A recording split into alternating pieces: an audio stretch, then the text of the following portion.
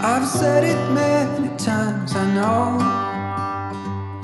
I would change my ways, I know for sure. When all the crows decide to meet, they settle down beneath my feet. I've got it right and I got it I'm Jackie and welcome to my channel Hearth and Apron where you can find all kinds of things creative homemaking.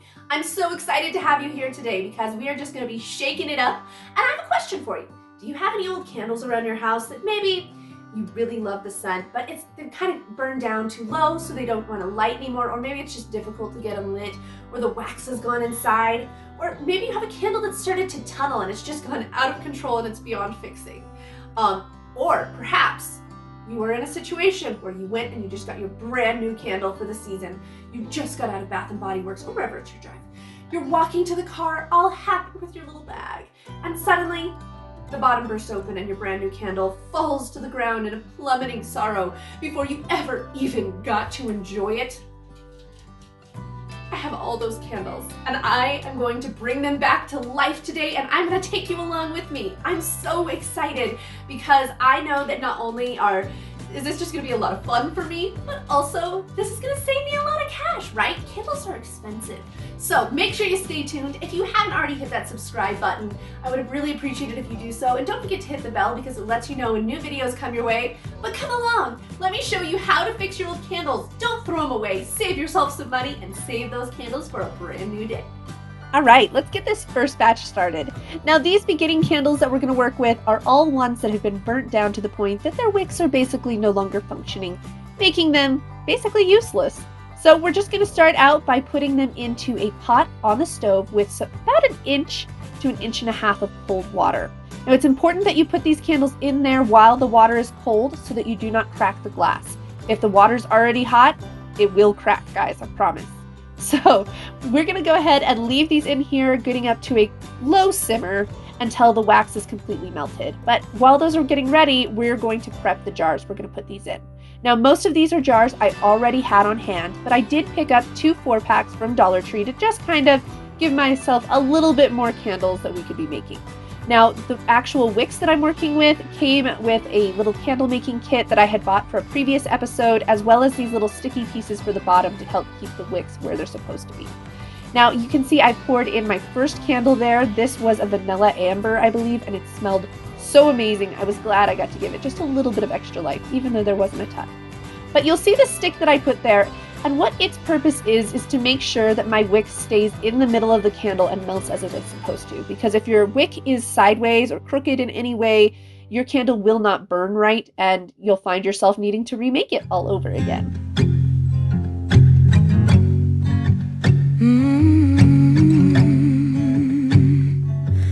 Confetti on the floor, they're walking out the door.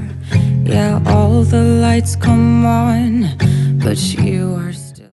Now, because I needed to let the water cool in between each of these candles, I just kind of took videos of where I was actually doing work here. So you're going to see when I add in the new wax and I'm just kind of behind the scenes changing out all of these candles. But you will notice that when I pull out the Bath & Body Works candles that have that little wrapper on the outside, you want to make sure to take that off before you put that in the water because that could cause big problems, big messes we do not need.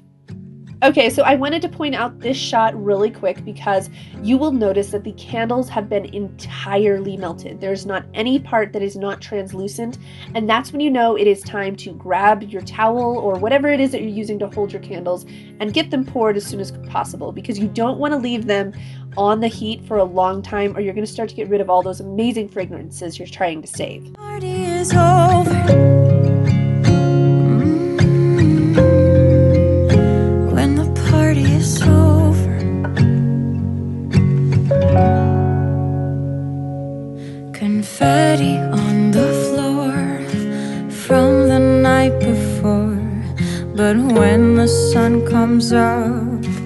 You are still the one I want. Forget the mess we made, all the things I forgot how to say. Know that I'm no good with words for what it's worth. You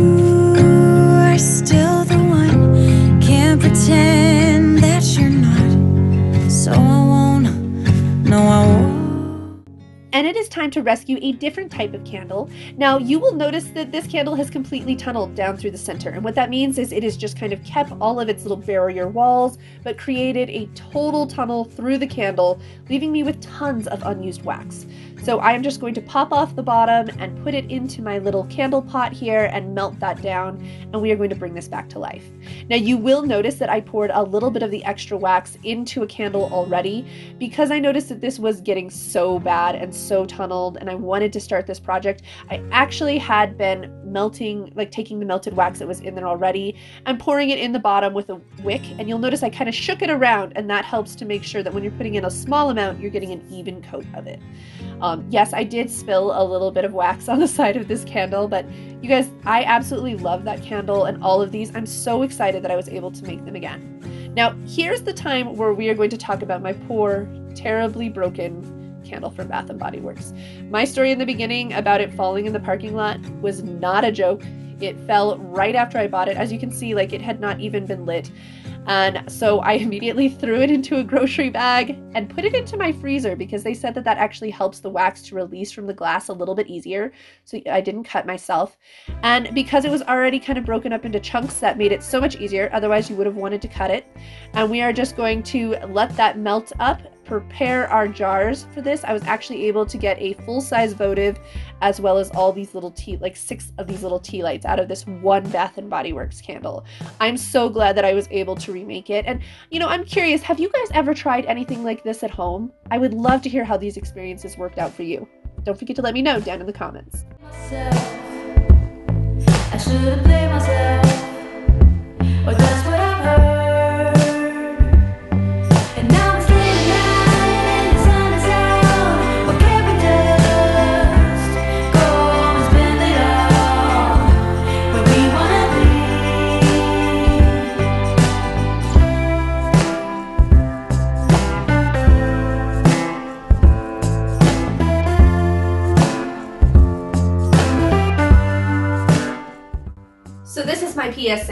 Um, the Bath and Body Works candle was a little overwhelming as it melted down. The rest of them, actually, it made the house smell wonderful and amazing, but I think because I had the full candle for Bath and Body Works melted all the way down, you guys, I had to open up the windows. So make sure that if you're doing this today, that you are properly ventilated.